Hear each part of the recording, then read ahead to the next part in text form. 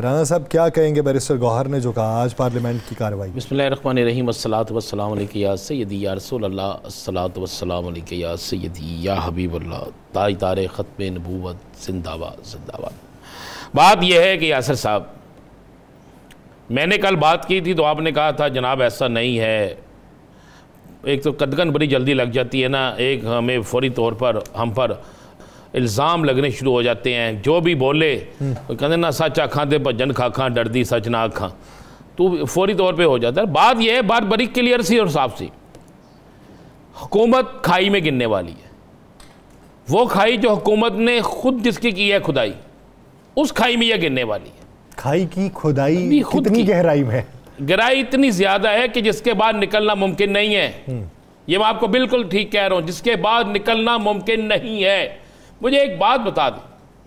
कोई एक रिलीफ मुझे बता दें, कोई एक रिलीफ जो इस हकूमत ने दिया हो। शहबाज शरीफ साहब ने फरमाया था इस महीने बिलों में रियायत मिली है किसी को? हाँ दस दिन मिल गए हैं गुर्दा बेचने के लिए, जेवर बेचने के लिए कर के बर्तन बेचने के लिए, या किसी जगह चोरी चकारी करने के लिए। यही है ना? इसके अलावा तो कुछ नहीं। तो अब उसको अगर बरिस्टर गौहर ये बात कहता है तो बात यह है कि असम्बली में तो फिर बहुत सी बातें होती हैं। ये हम हम हम इस पार्लियामेंट के अंदर, जिस पार्लियामेंट की सुबह से लेकर शाम तक तकदस की बात होती है, पार्लियामेंट के खिलाफ बात हो तो फलां टीवी चैनल, फलां बंदे को, फलां को फलां को, फलां कर दो। क्या इस पार्लियामेंट में आज सारी, सारा दिन होने वाली बहस में एक ऐसा बिल पास हुआ है जिससे आम आदमी को फ़ायदा पहुंचाओ? एक ऐसी बात हुई है जिससे आम शहरी को फ़ायदा पहुंचाओ? एक ऐसी बात हुई है जिससे गरीब के बच्चे को रोटी मिल सके।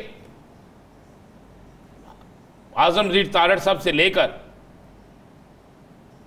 ख्वाजा आसफ साहब तक, बाकी भी सारे ले लें।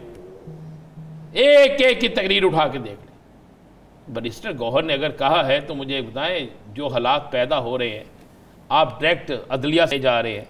आपने जो बिल मंजूर किया है और तेज़ियाँ आपकी इतनी हैं कि कौमी असम्बली के बाद सेनेट से भी बिल मंजूर हो जाता है। फिर आप कहते हैं, ये कानून बन गया है। और और मुझे एक बात का, सवाल का मुझे समझ से बाहर है। क्या ये कानून उस वक्त क्यों नहीं था बना? जब सुप्रीम कोर्ट से फैसला नहीं आया था, हकूमत ही आप तो बन चुकी थी ना आपकी। तो आपने इतनी तरमीम की थी, इतने ऑर्डिनेंस लाए थे। उस वक्त ये बिल क्यों नहीं पेश किया गया? उस वक्त क्या थी? असल बात बताएँ ना कि आपने इकतदार में आने के लिए जो वादे किए थे वो इस बिल के बगैर पूरे नहीं होने थे। मैं बोलूँगा और मैं मुझे ये बोलना चाहिए भी ये आपको सुनना भी चाहिए। इसलिए कि ये सच है।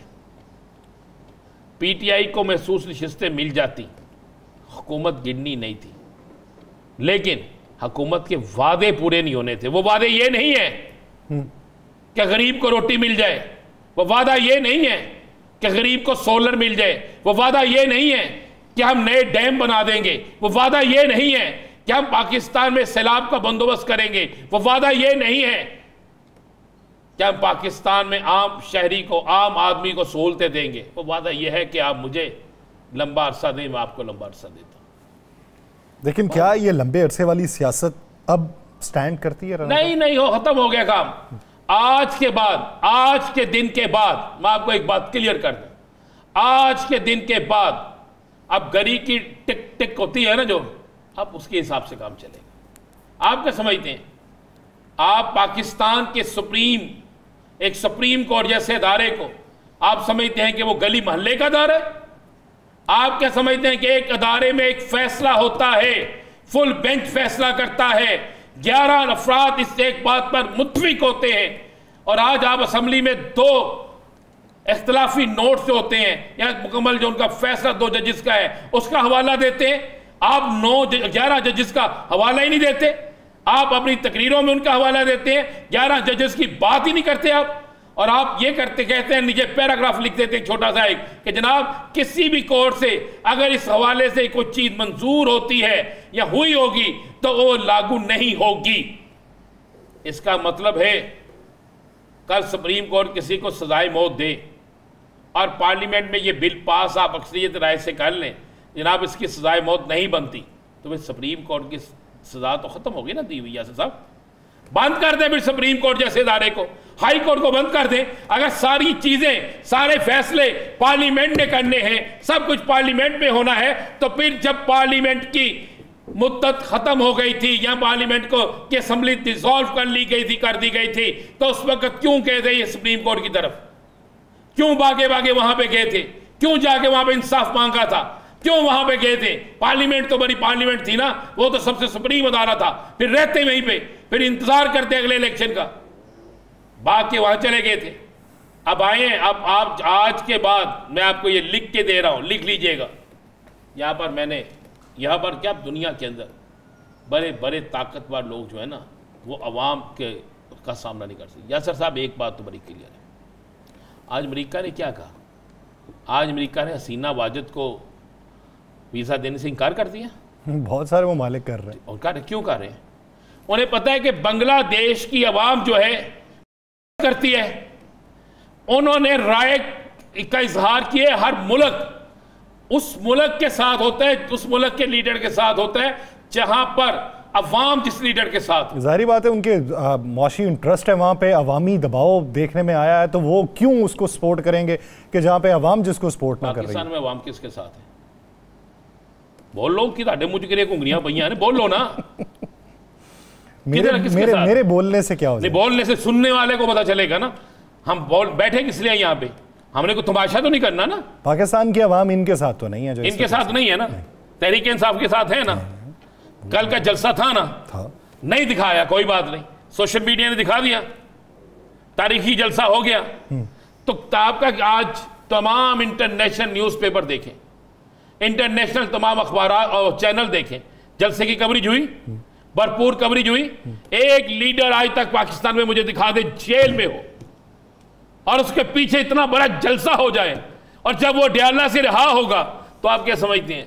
जलसा क्या जो वो जुलूस जो है वो सबको बहा नहीं राना साहब अब वो जो जजेस के सामने मामला था क्या वो इससे मुख्तलिफ़ था? बिल्कुल बिल्कुल ये जो आज आज़म वज़ीर तार साहब ने जो बात फरमाई अगर वो ये भी फरमा देते कि उसने पीटीआई के जो वकील थे सलमान अकरम राजा साहब उन्होंने क्या कहा था?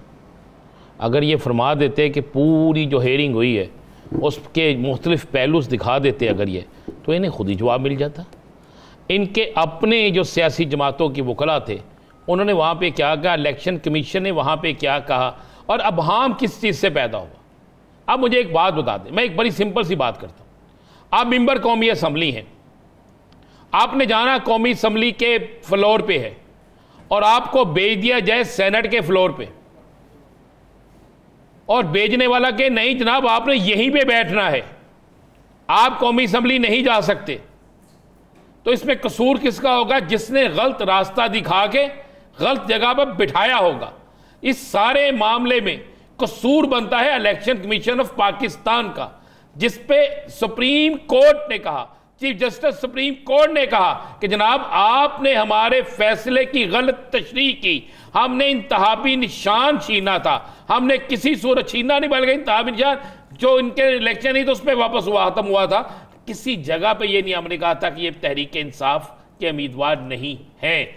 ये तहरीक इंसाफ के नहीं है, या तहरीक इंसाफ के उम्मीदवार जो है वो नहीं होना चाहिए। दूसरी बात, यासर साहब, वहाँ पर लिस्ट पेश हुई है। स्वाय पंजाब के के पी के में क्या लिस्ट जमा नहीं हुई?